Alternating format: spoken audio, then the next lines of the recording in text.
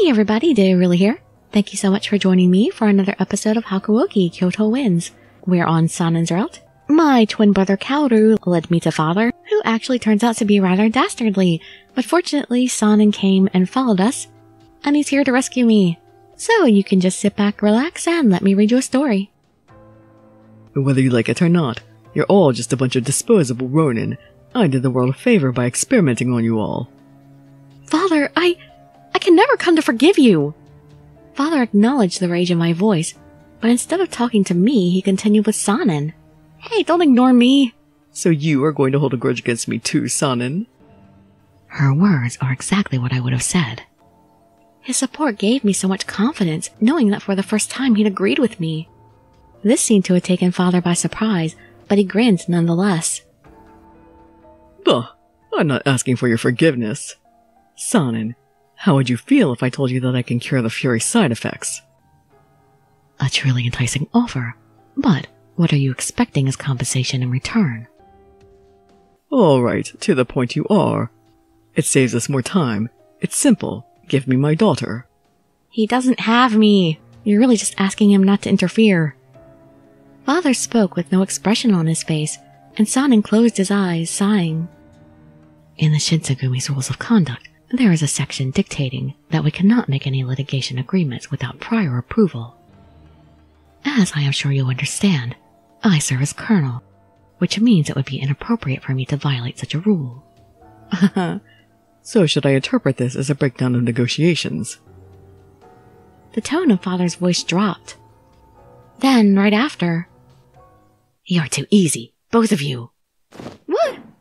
Kaoru shrieked wildly, lunging a sword as he charged at Sanan. Sanan protected me! Chizuru totally looks like she was just expecting that. Had total confidence in Sanan. Oh man, he looks gorgeous here as always. Although I am now a Fury, you would be wise to never underestimate Keisuke Sanan, Colonel of the Shinsengumi. Ugh, you Fury scum! You are just a fake. Stop acting so tough. It troubles me that you would think of me as a fake, but I proudly accept the title as Fury. Confidence radiated from Sanan's voice as he shut down Kaoru's attempt at provocation. It was as if he were proud to carry the burden of the Shinsengumi. Yukimura, stay close to me. Okay. I leaned into Sanan, who pulled me close to him, as I nodded firmly. Sanan, release my little sister. Yeah, like he's gonna do that easily. The Shinsengumi has promised to protect her. As Colonel, I will do whatever it takes to keep this promise. I said, release her! No, I won't. As Sanan swung his whole weight behind his sword, Kaoru's blade met with his and produced a gleaming flash between them. Oh. What just happened? Kaoru, perhaps taken by surprise in seeing Sanan's strength, backed away slowly from him. How about a proposition? As in, the two of you shall retreat while you can. Ha ha. You sure have a big mouth. You seriously think you could take me out? Well, the way this fight's been going. Kodo, can I just kill these guys already? He's starting to piss me off. Did you just ask if you could kill your sister? He and Okita are really getting under my skin. Okita? What? He's not here, is he? No, boy. He is living proof of a successful Fury experiment. I went to examine him further. Sanan listened to them speak about him, and I watched as his face grew more irate. Do you mean to say you are going easy on me? Wow, I had no idea I was so easily underestimated. Then please, show me what the true power of a demon is. No! If Sanan and Kaoru were to use their true strength, then blood would be undoubtedly spilled. Father, please stop! Kaoru, I mean, you, you too! I have no intention to leave with you, father, so please, no more fighting. Kaoru listened to my wishes, watching me with surprise, perhaps at my attempt to speak out. What? What are you talking about, Chizuru? We came all the way here for you. Why? Why wouldn't you come with us? Then something seemed to enter his mind, and suddenly his demeanor changed. Ah, I see. I get it. They're manipulating you, aren't they? Him and Okita, too. Watch. Your brother is going to save you. Boy, it is time for us to go now. Surely Chizuru needs time to process all this, and she can't make a decision in this state. To my complete surprise, it was father who stopped Kaoru from making a final charge. What? If we strike now, we could. Let us go home, boy. Understood? Kaoru was peeved by this order. It seemed at any second he could snap at father, but. Finally, he sheathed his sword, never removing his glare from us.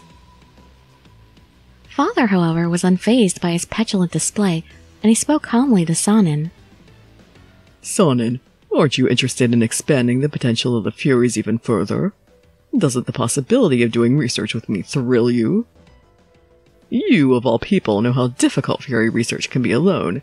Together, we can achieve things that you can only dream of. Sanan lightly shook his head.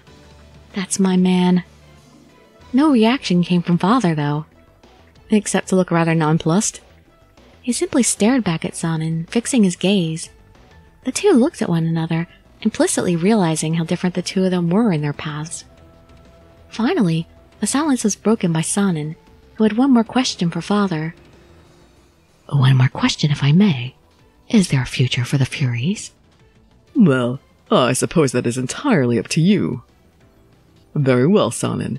Why don't you take this into consideration for our next meeting I hope to hear some good news from you. Father smiled peacefully, then turned to face me.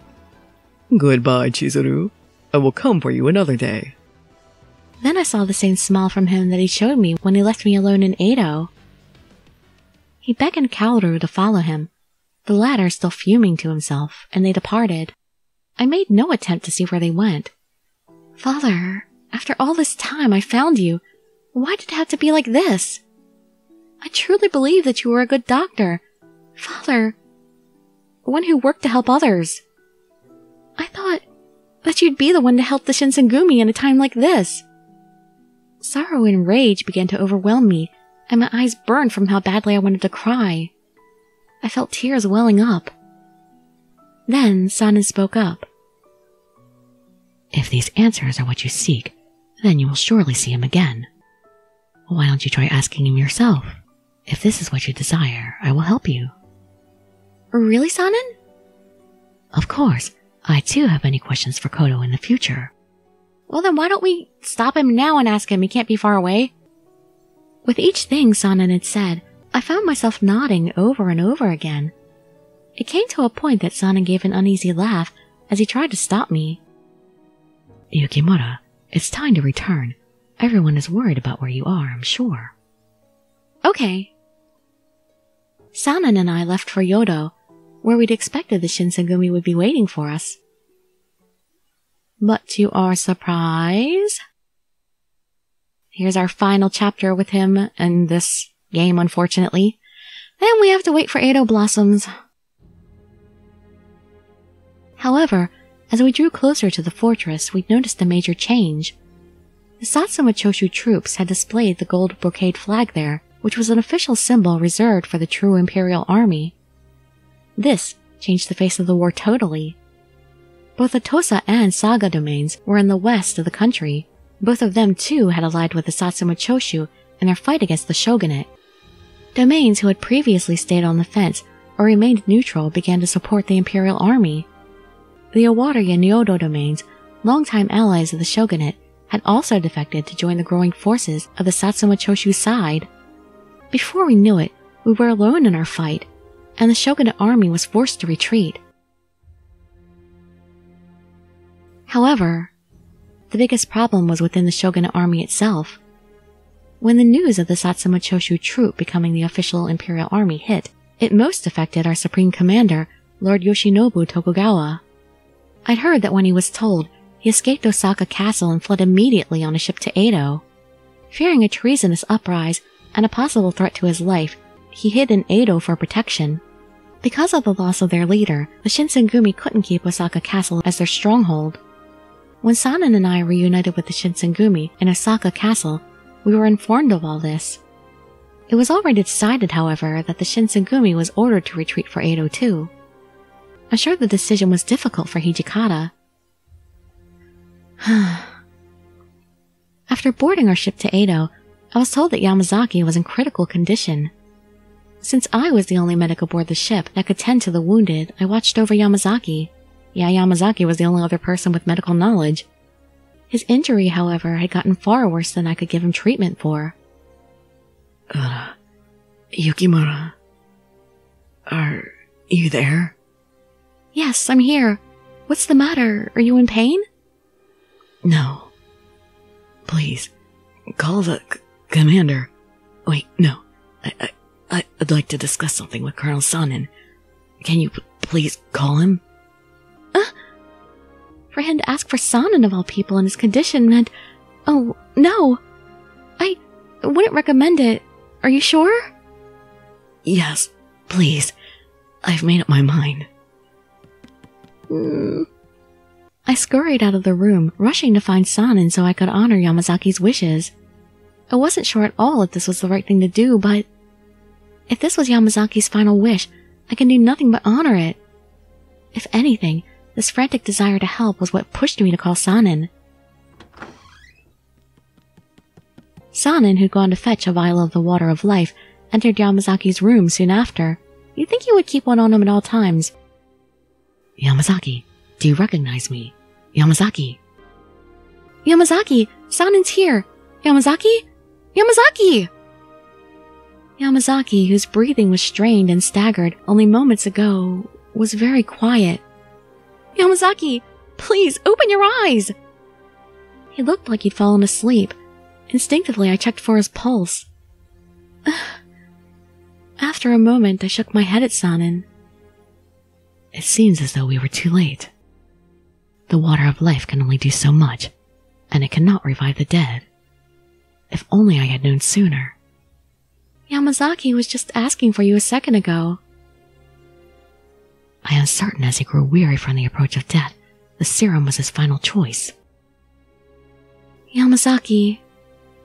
No matter how many times his name left my mouth, his eyes remained shut. It was a quiet end for him, at least. Like, he's sleeping. No matter how many times we lose Inoue and Yamazaki, I just feel they wrote this game so well that it just always makes me sad every single time. I mean, I know this is fiction, but it's still just really sad. The Shinsengumi lost many close friends in this war. I too lost both Inoue and Yamazaki, who both died right in front of me. As the night passed, I tossed and turned in my futon, unable to sleep with the thoughts of my dead friends haunting me. I headed for the deck to get some fresh air. Oh! I stopped myself, seeing someone I didn't expect to see. But that I really wanted to see. Looking gorgeous as always. Having trouble sleeping as well, are you? Yes, I mean, what with Yamazaki passing and all.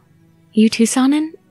His passing disturbs me indeed, but I am a fury. The nighttime is my daytime. Oh, you're right, huh? Over the past few days, I spent most of my time with Sanan while the sun was still out, so it sort of slipped my mind. Oh, has Sanan actually been braving the sun just for me? Sanan quietly fixed his gaze toward the stars. Another lost comrade. Inoue, Yamazaki. If I had been beside them, I might have been able to prevent their passing. Because I was incapable, the two of them.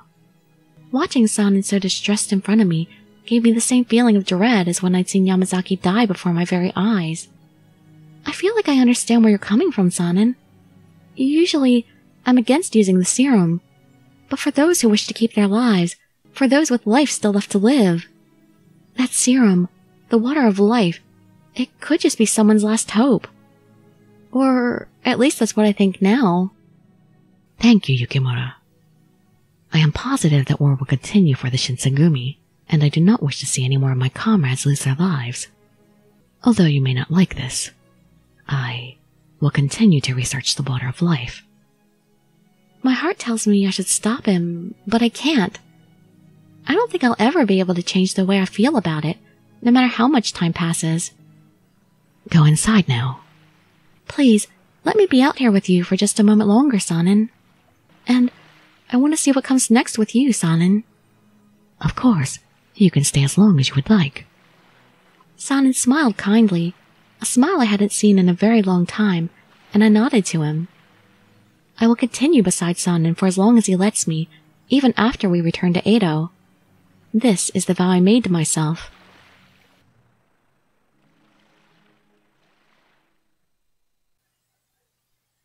Oh my god, that's the ending already. So like, mm, okay, um, maybe, maybe it's just Sanan. Maybe he just has a very short, uh, spell of material in this first half of the game. I hope, I hope other people have more material in this first game than he does.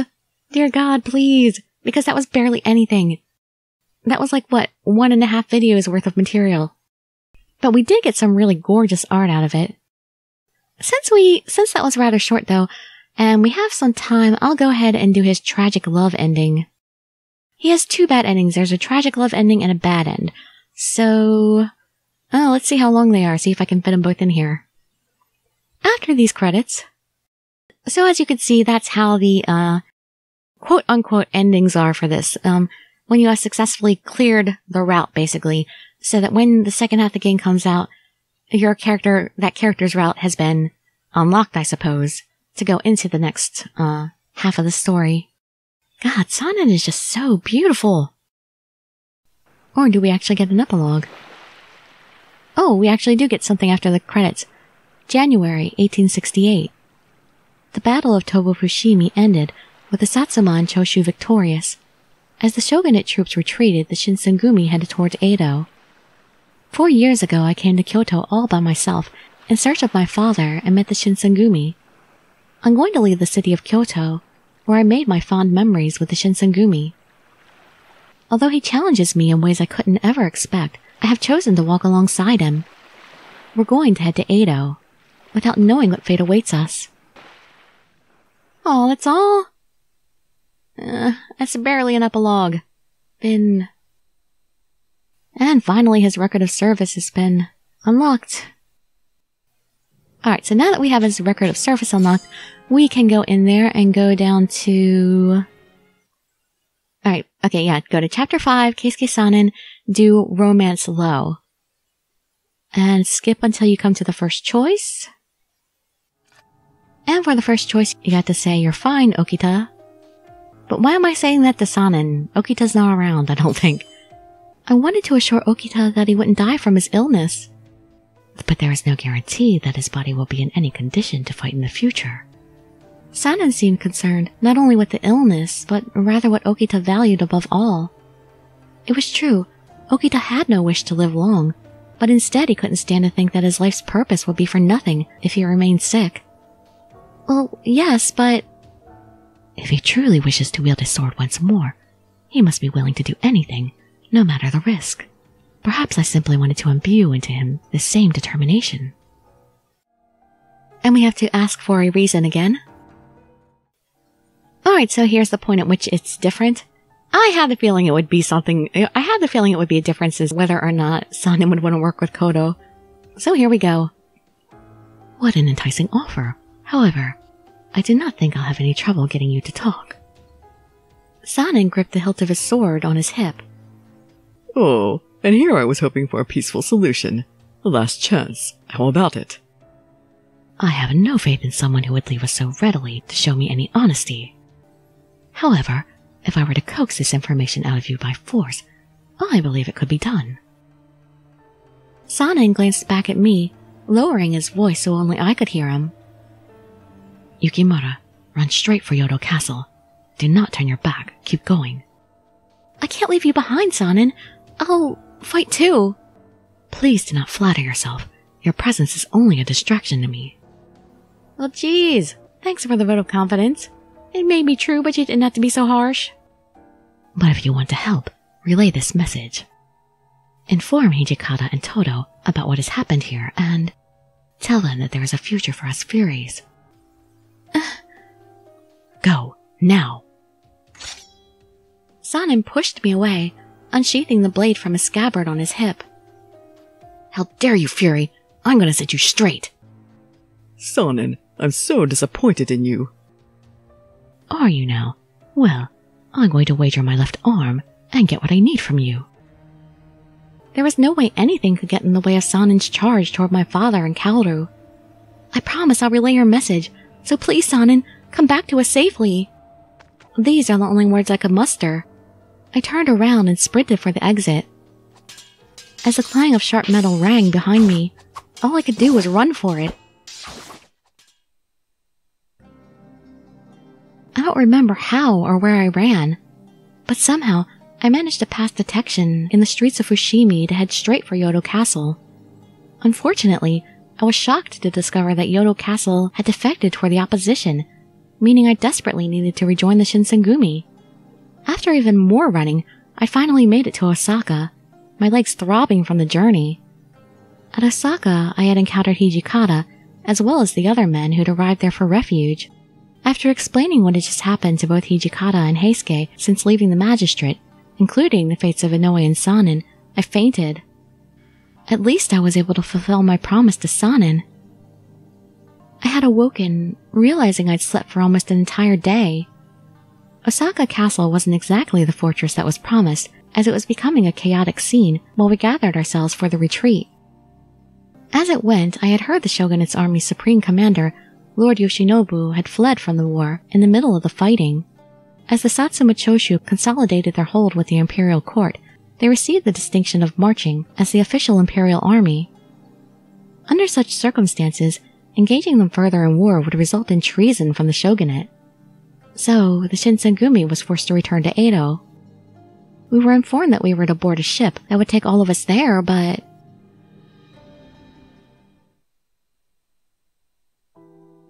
Chizuru, it's almost time. Could we wait just a second longer? Everyone's already left. We're the only ones here now. But Sanan might still return. Please, just a little longer. I want to wait just a little longer. Heisuke's face dropped, troubled by my words. I know that I was sort of being a hassle to him right then. Heisuke, it seemed, just wasn't in the mood to humor me, sighing as he came closer to me. Sorry, I was supposed to give you this a little while ago. But I couldn't really bring myself to mention it, because you seemed so hopeful waiting for Sanan. Then Heisuke pulled something from his pocket. I found this back at the Fushimi Inari shrine that you told us about before. I'm really sorry. I didn't want to hurt you. In Heisuke's hands was a pair of bloody, warped glasses. Sanan's. I took it with both hands, and I pressed it tightly against my heart. Then, all of a sudden, I burst into tears, sobbing my broken heart out. Inoue, Sanan, these men gave their lives for me to escape, and now they're gone. Why did I deserve to still be here? If I hadn't been there, if Sanan never tried to save me, I know now that when I return to Edo, I have to leave everyone behind. It's the only way. I gripped his glasses tightly, making a vow to myself that I shall never burden anyone else with me ever again. And that was Sanan's tragic love ending. Which is horribly sad. So yeah, then we'll go after his plain bad ending. Momentarily. Right, yeah, we can skip the credits here. So we'll just go right for the bad ending. Nothing after the credits for that. For his regular bad ending here, we have to reproach him I heard you were killing many people in the enemy camp in cold blood. Is that true? If it is, maybe you're going too far. Sanan listened silently, showing no immediate reaction, but he accepted my words. He had neither confirmed nor denied it. Maybe there was something he felt guilty about. He was doing it all for me. It appears you have spoken with Todo. But I am a fury. All I can do is swing my sword at who is in front of me. I am doing the best that I can in the window of time that the Shinsengumi allows me to perform. When he put it like that, there wasn't really anything else I could ask him about. And here's the new material for the ending here, for the bad end. Sanan gave a double take. Eh, is that true? Of course it is. Only I could understand how difficult these past few years must have been for you. If you so choose, why don't you join with me and my daughter, and we can go to my place? I'd welcome you in. Up until now, Sanan kept his composure steady, but this offer seemed to hit him where it hurt. I would love nothing more, but... What of my injuries sustained before drinking the water of life? Would they still be healed? Of course. Just come with us and let go of your fears. My left arm is going to heal. If all that my father had promised came true, then it would be a true miracle. Sanan gazed intently at his left hand, as if the temptation from my father was seducing him. Ugh, you're a fool. Of course it won't heal. Kaoru was behind Sanan, swinging his kodachi around and around. Then, the blade was aimed directly toward Sanan's heart. Sanan, watch out! Ah! In the split second, I'd realized what was happening. I pushed Sanan instinctively out of the path of Kaoru's swing. But, I didn't think about what would happen after. In Sanan's place, the blade struck through me. Kaoru beamed with shock, and I felt each inch of the cold steel force themselves into my chest. But there was no regret for me, because the Shinsengumi needed Sanan.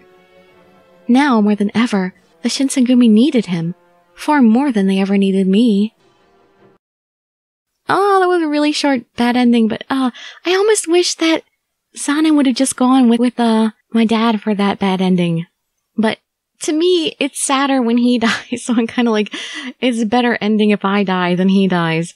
Cause I don't feel as sad. But no, it's sad to me that we have so little material with the people in this. Alright, I'm gonna start Ryoma Sakamoto next. As he's one of the new guys, there might actually be more material for him, so we'll see how that goes along. I mean, it's a good game. I'm happy with it, but I'm just so upset that it's just the first half and, you know, nobody said anything. I really wanted to date Sanan so badly and we got so little with him. I can't help being upset about that. I just kind of feel like I was teased, you know? uh, Alright, well, yeah, again, Ryoma Sakamoto in the next video. Hope to see you there or in some of my other videos. And I'd be so grateful for any likes, comments, subscriptions, or shares with your friends to show some support. Thank you so much for joining me, and I wish you all health, happiness, and safety. Dirili signing out. Bye bye, everybody.